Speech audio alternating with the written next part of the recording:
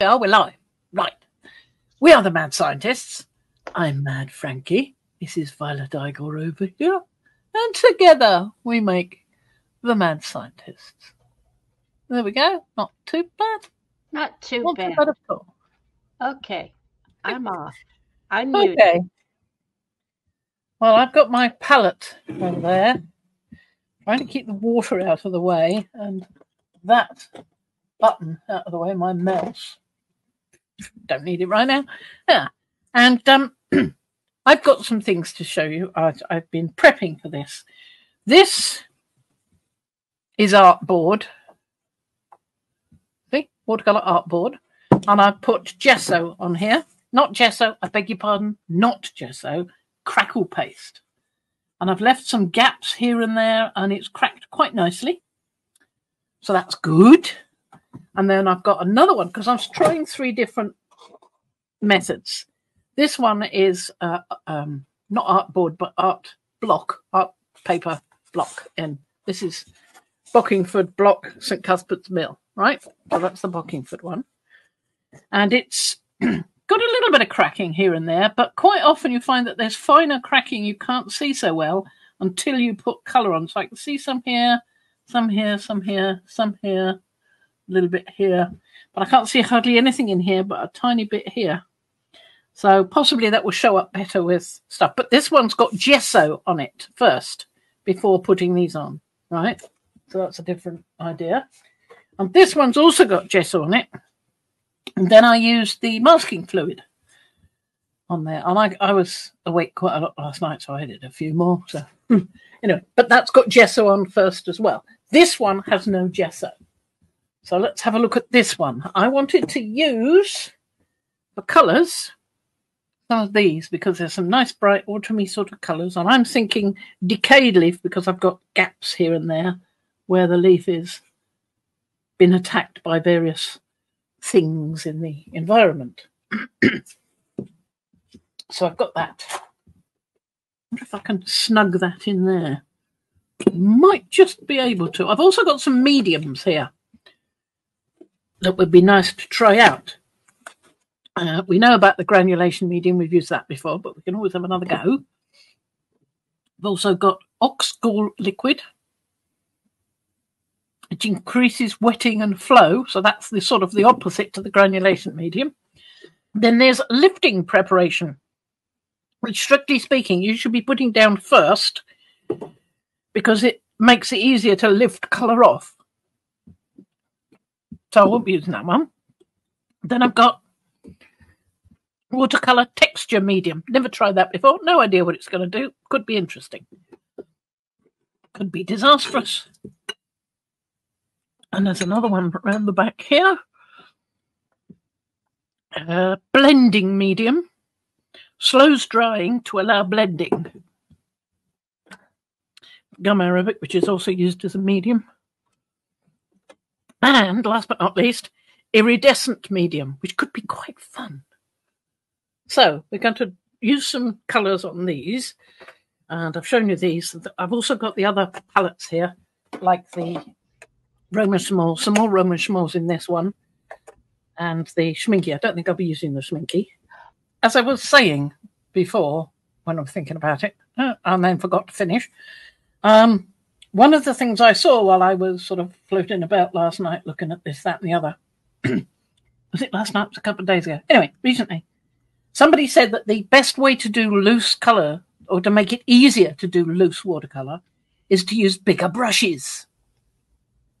And as I was saying to Violet, he showed one guy using a brush that was um, quite big, maybe on that sort of range of big. But of course, he was using a massive, great big canvas, about sort of at least the size of my um, piece of wood that holds the uh, camera track and everything. And I can't get a piece in there that big. I could probably get a canvas in, but not quite that big. So that's something for another time. But in the meantime, brushes, big brushes. So I've got some big brushes here. There's a problem though with me using big brushes with watercolors because these are my biggest watercolor pans. These, And you can see that it's going to be the devil of a job to get that in there. You, it's just not going to happen. Not with any ease. It might work okay with that one, which is big. So we might try a bit with that. But I think that one, even though when you wet it, it's going to go more to a point. How much it's going to go to a point, well, we'll have to wait and see. I can try it. I can put it in the water and see what happens. Let's have a look. It might be um, more messy than anything. Well, we don't know. Just got to be real with it. We'll be mad scientists. Yeah, exactly. Let's have a try. Oops. Well, that wasn't very clever. Excuse me. I've now got to dry up. But yes, you do get a better point when it's wet. Yeah. So there's that. I thought it might because it's been a long time since I used these. So we can use that one for sure. And um, possibly this one is, would do similar. So I we know. could get some colour off there. And we can probably get some colour out of a um, dish like that. But you're going to have to put some in there first. So let's start with that. So we want autumn colours. Fine. Okay, autumn colours. Let me just get some colours out because this is so big and bulky, this huge thing. I'm knocking the water over every time I move it. So, what have we got? So let me get the thing out. It does tell me some things that just looking at the colour doesn't. We've got Rose Madder Deep. Mm-hmm. Which palette is this? Carmine. This is um this big one. This one. I don't know what they call it. Oh, no, it's, it's not the Art Deco. No, that's much smaller. The Art Deco is about that size. Yeah. Half the size. So it's double the size of that. But we don't want many of these. We want these. At least that's what I'm thinking. I might use some browns or well, I probably would use that, which is purple. And I really like the maroon over the other side. So I'll probably use those two. We'll get those out and pop them down there. If you wanted to use any of your graphite, you could. I think they were a little dark. I want bright colors for this. Yeah, I would. I would go with a, a an orangish. Yeah, a dark orange like burnt sienna or something like that. I think I'll have the carmine. Actually, the carmine is a nice red, but it's got some some bluish tone to it, unlike the cadmium scarlet. But we'll leave those. I mean, I've got the, I'll have it over the side here. It just won't be quite so accessible as having these out. So we want some greens. Well, I certainly want the malachite because I just love it. So I can't help myself. I've got to get that one out. If I can. Malachite. I like the Viridian, but the uh, lime green is, is a little dirtier than I like. Let's have the Viridian.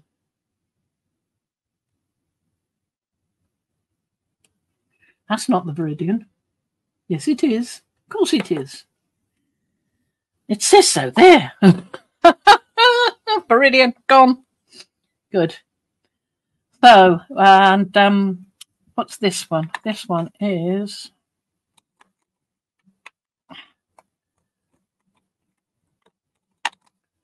Turquoise blue, we'll have that. That's uh, cobalt violet. Cobalt violet. Yes, I like the cobalt violet, and I like the imperial violet as well. So I'll get that out. And I'll get the lime green out, and I'll get the lemon yellow out. There we are. I think that's enough for now. It's probably too much. Probably won't use them all. But this one is that one. So, sorry, you can't see.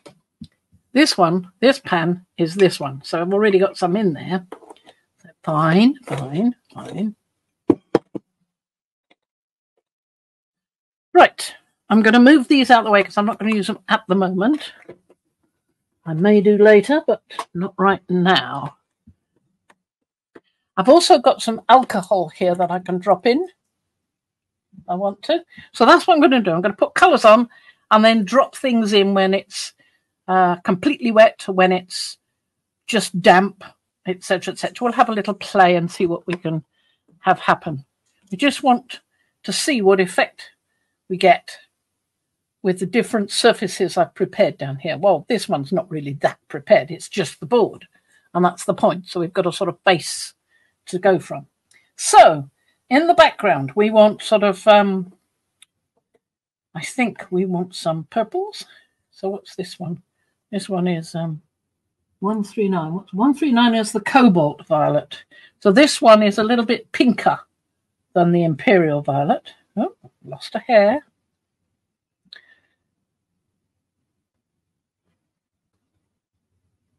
So water first. What am I doing? Water first. So we've got the big brush.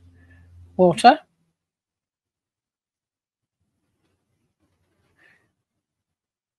So we're going to keep, we're going to remember this because this is a process video. Wet Yeah. on wet. Yes, because we want it to flood about. Right.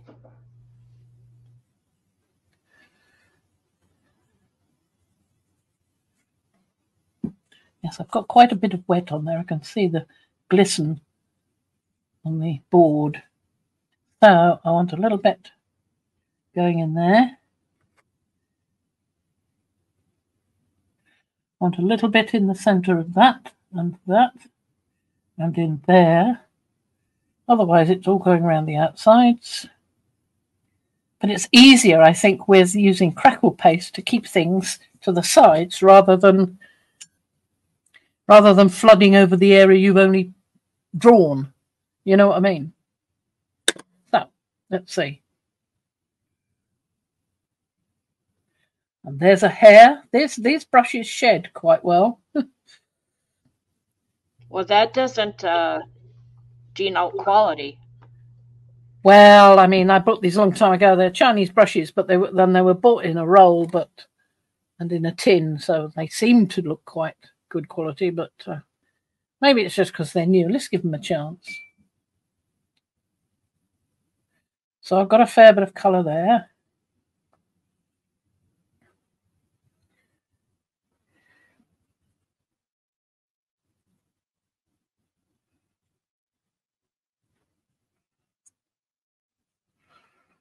This is a lovely color.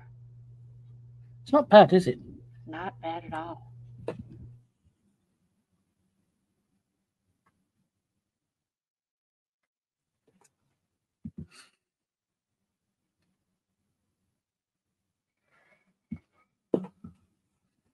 Another bit of tissue. Let me get a big piece.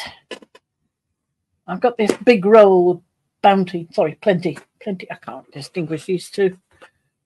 It's a big roll, so if I I find if I get rid of most of the color that I can, like that, and like that, I don't get the water quite so dirty quite so quickly.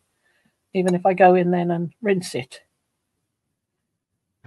That's why I like a secondary uh, piece of paper or Secondary. paper to Water bottle, yeah.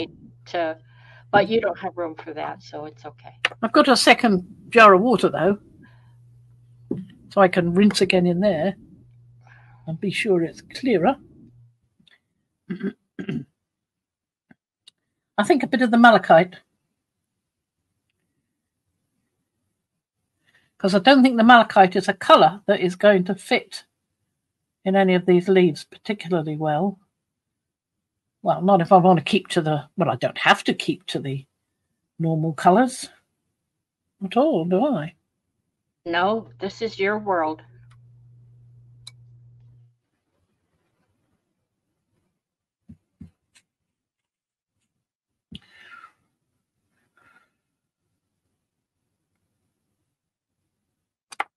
trying to get hairs out now. At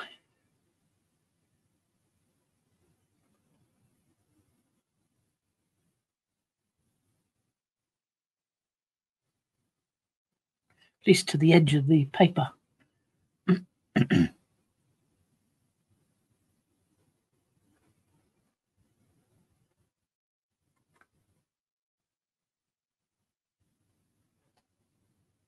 See, I don't mind too much if it goes over the edges because that's a definition, one of the definitions of loose of going over the edges.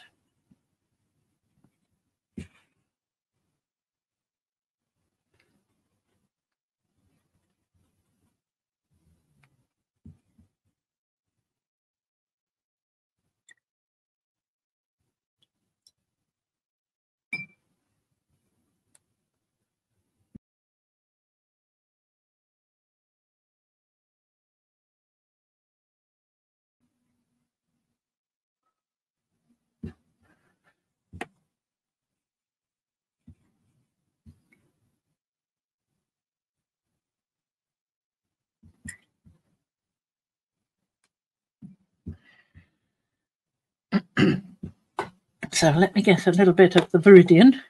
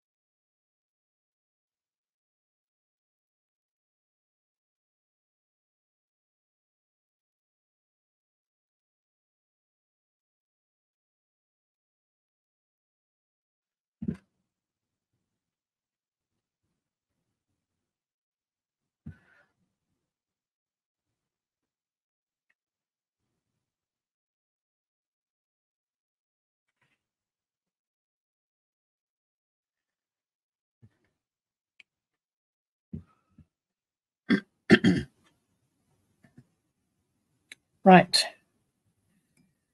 Now I want a bit of that lime green.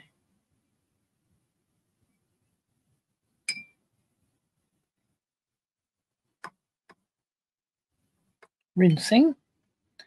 And the clean. Let's have a go with lime. Now let's turn this around so that I can see what I'm doing a bit more closely. Have you noticed down here how some of the cracks are now showing with some of the paint near the edge of the leaf? Now I, I could see those before because this was the one with the better cracks. But uh, it's showing them up beautifully.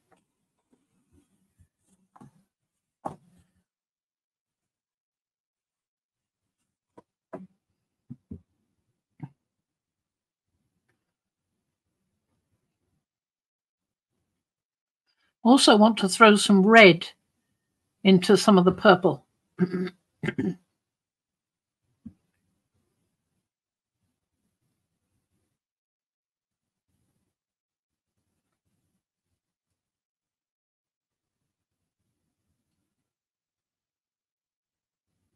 yeah, quite happy with that at the moment.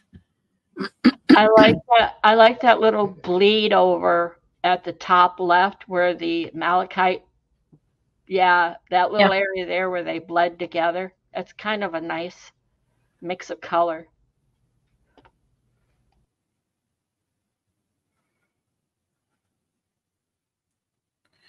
Adding a little more of that there just to help it tie this in. You don't want one blob of one colour.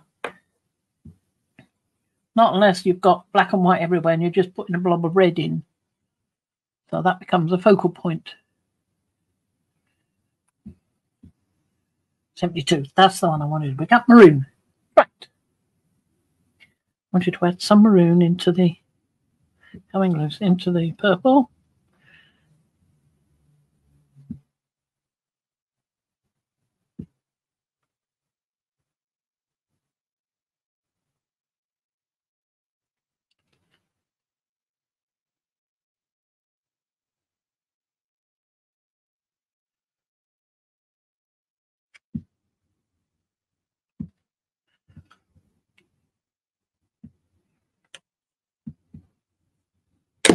That one wetted.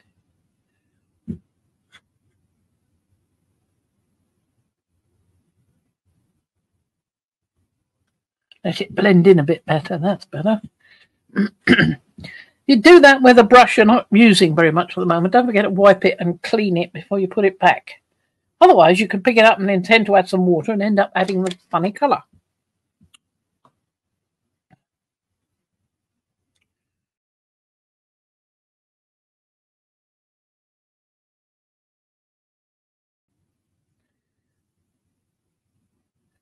clean.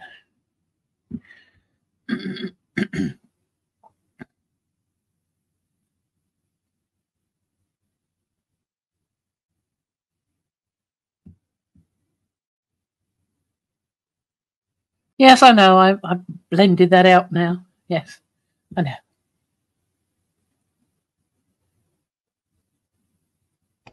No judgment from me.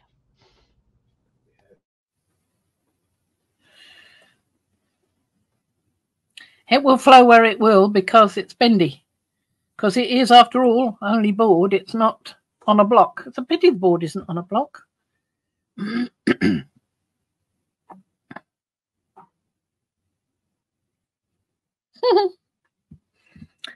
okay. Now then, I want some. Let me go back to the box. Yellow ochre. Those are the two I want. This is an oak leaf, right?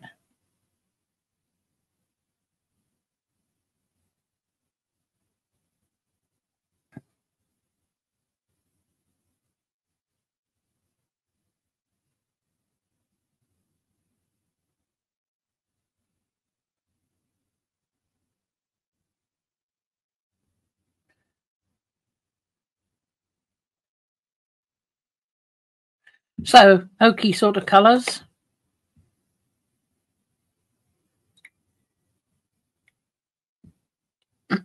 and I want a bit of maroon in there as well. Oh dear, a big hair, don't want that.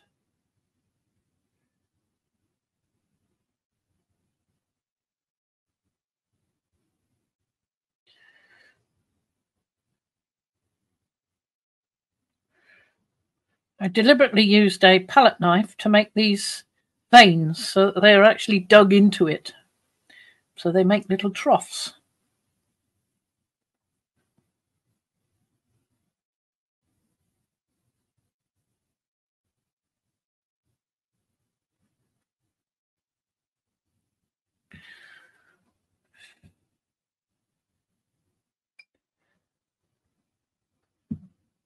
I don't think I need the burnt sienna as well, but I might put some in the other leaf. Yeah, in this big one here. So that one's got some browny colours in it, so I'm sure.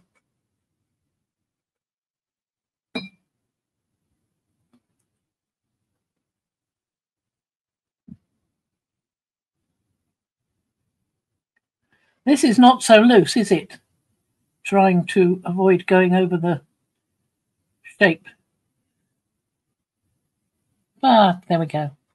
Well, I mean, it runs off anyway, so that helps it to be looser. Well, you know, I pay attention when when Pete teaches. I get uh, quite absorbed. I, I actually get over focused because I sometimes I miss what she says after what she says. yes, but, I know. I do that. Yeah.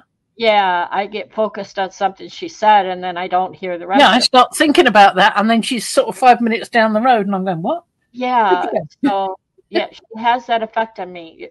Bless her. I, I love her as a teacher. I wish we had a uh, in-person class, but then I'd probably be interrupting all the time, or or not paying attention, and I'd be in the corner. anyway, getting back to it, she was. Uh, doing leaves the other day, and I even left him a comment about it to uh, highlight in the valleys. Um, she she made her leaves and she came back with her pencils and went into the valleys. You put the darker color in the valleys. Yeah, well, that's what I've tried to do there. Yeah, uh, well, but she that will go better when it's not so wet. Right. She used um um. She she had that, but she came back after the fact um, and used I forget she used her pencils I believe and went into the vat or her marker I forget which. See, that's where I stopped paying attention. Um, yeah. And she went back over it to uh, to highlight those valleys. It's like then I saw the change. Like keep that in mind. So I actually put it in my comment. Yes, darkest color in the valley. So I would, if I write it down, sometimes I don't forget for a while.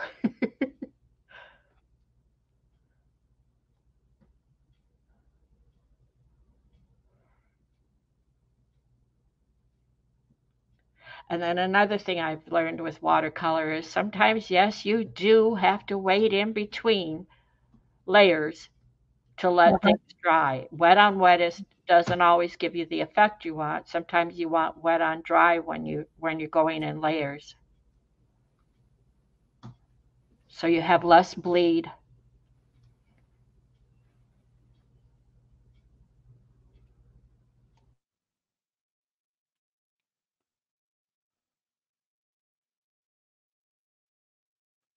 And of course, when you're working on crackle paste, it absorbs. You can see that. I mean, I've just put that on there. It's already gone pink.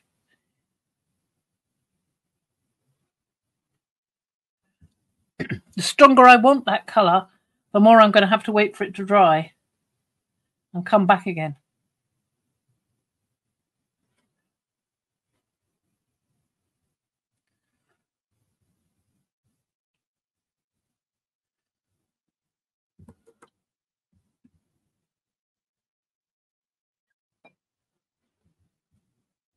This is the cad yellow, I think, isn't it? Yes, cad yellow. These are not, this is not a palette that I'm used to seeing from you. Uh, you Oh, said you said darker, but this is so colorful and beautiful. That's what I meant it to be. I mean, autumn Wow. leaves, I was thinking. It, it doesn't come across as autumn leaves. It comes across as Psychedelic leaves? Oh, maybe that's a good word. It's still it's beautiful, Fran. Good. Good, good. Still want a bit more of this in there, though.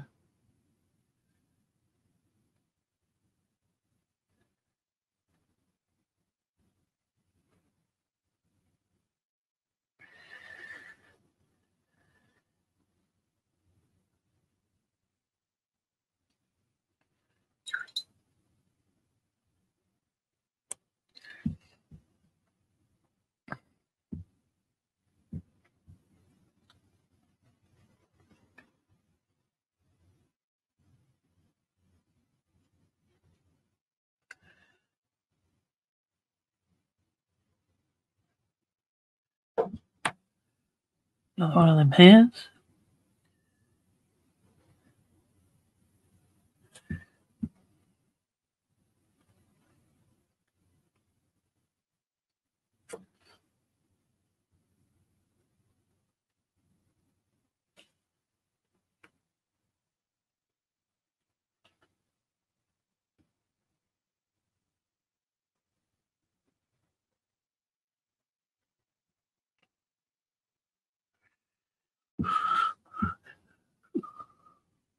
This is just I really like that. yeah, it's it's wonderfully beautiful. Look what you've done. It's so cool. Are you seeing Mm. much effect on the on the gesso? Are you seeing anything Loads, negative? loads of cracks. Lovely. Now, The watercolor is is uh, doing well on there. oh yeah. Let me It ask. fades though, so gonna have to come back when it's dry and go over it again with deeper colour or another dose of the same colour uh, damp on dry instead of on wet. Okay, so can I ask? Can you explain how you created those crackles with gesso? It wasn't with gesso, it was crackle paste. Oh, this is the crackle paste. Okay. Yeah. The white leaves are a crackle paste on both of them, right? On the oh dear, look at this. I'm not keen on that. Yeah, you you're off camera too. No, it's it's right here. Okay. Do your thing.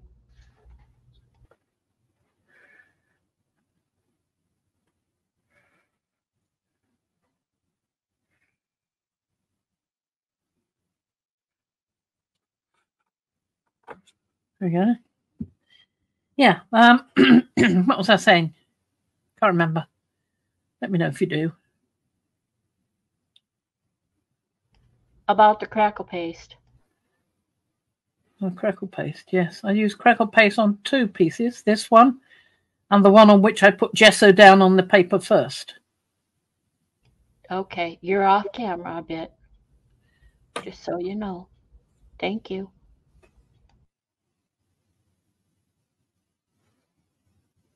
So the crackle paste is is taking the watercolor well too, but the end result, the dried end result is what we'll know. Uh huh. Okay. I love your colors. Oh. I would keep and frame this just as it is. Well, it won't stay like this, you see. It will go lighter. That's the trouble with watercolours, they go lighter.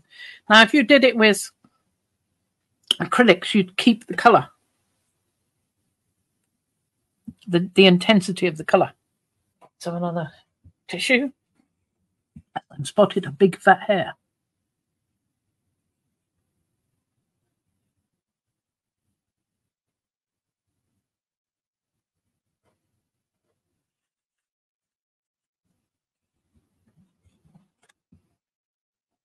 Probably. So that can just sit and dry now. And we'll come back and go over the leaves again. I probably won't go. Well, I don't know. There's a bit of sort of funniness going on there.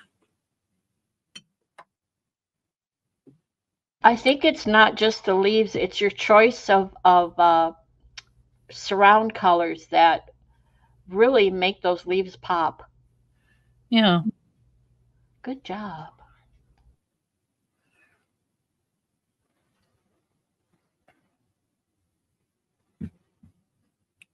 Right, I think, as I said, we'll leave that now. I'm quite happy with all the rest. So I'll leave that, see what happens.